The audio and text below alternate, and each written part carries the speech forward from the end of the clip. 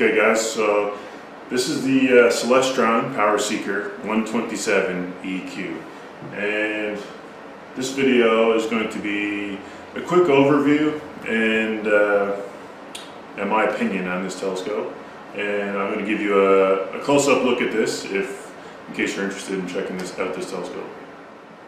The 127 in the name stands for 127 millimeters of aperture, which is uh, 5 inches. So you have a 5 inch aperture on this telescope, which is very good. Uh, the EQ in the, the name of this telescope, the 127 EQ, stands for the equatorial mount, uh, which this is a close-up view of here.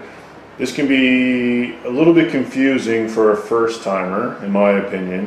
Uh, with a bit of study though, you can catch on and figure it out. Uh, basically, you would have to align this axis with the North Star, and you have to put your, uh, your latitude of where you are on the Earth, uh, right here. Uh, now this is my cousin's telescope, so uh, I haven't adjusted. It, has this weight. He has the weight placed down as far as it can go, and that seems to work pretty well. So I would recommend putting the weight there. But uh, this is a close-up view of the equatorial mount, which is not particularly first-time user-friendly, in my opinion. So with this telescope, you get a 20 millimeter eyepiece and a 4 millimeter eyepiece. Uh, they work pretty good, but I would uh, I would recommend getting uh, an eyepiece that's in, in between those, those numbers, like a 9 to a 15, something like that. Um, it also comes with a 3x Barlow, I'm pretty sure. Finder scope, so the finder scope's pretty flimsy and it's not quite as easy for setting up as a bit of a higher end telescope, but that's to be expected, it works fine. I think it's a 5 by 25.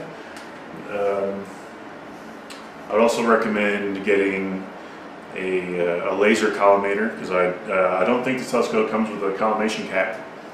Uh, so to collimate it, you're going to need to get a laser collimator. As for viewing, uh, it's pretty good. You have a, as I said, a 5 inch aperture, which is a nice size aperture. So you have a 5 inch mirror. So this is a Newtonian reflector in case I hadn't mentioned that already.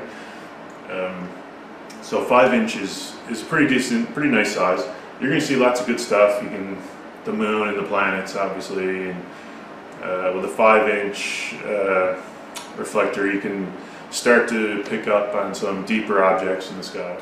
So it is a pretty good little telescope overall. Um, however, I probably would not recommend it for a first telescope for somebody. And that is because of the equatorial mount.